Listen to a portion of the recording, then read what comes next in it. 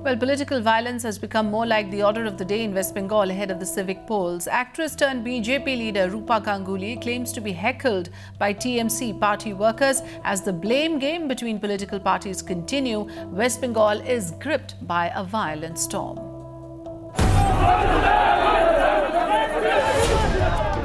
Three days to go for Kolkata municipal polls and political fight only escalating. Actress turned BJP leader Rupa Ganguly claims she was heckled by TMC workers during her campaign in Alipur. আগে ওকে মেরেছে তবে স্টেজে উঠে আমাকে মেরেছে। মানে আমাদের পয়সা দিয়ে করানো গাড়ি ভেঙেছে মেরেছে আমার ড্রাইভারকে প্রচণ্ড মেরেছে। আমার ড্রাইভারকে প্রচণ্ড মেরেছে আমি কোনো রকম ওকে চোখের ইশারা করে বললাম তুই পালা এখান থেকে। তো ও তো আমার কাছে আমাকে বাঁচাবার চেষ্টা করছিল। তো আমাকে আমি স্টেজে উঠেছি পর নিচে থেকে ছেলেরা স্টেজটাকে টানাটানি করে নাড়াবার চেষ্টা.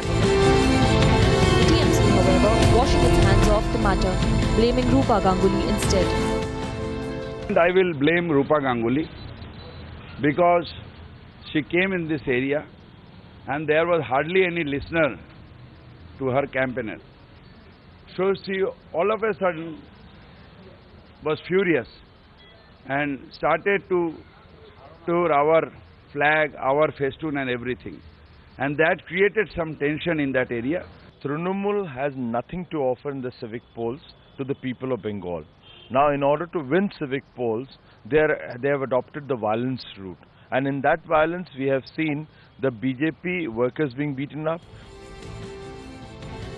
Allegations and counter allegations flying thick and fast, and political violence reaching its peak.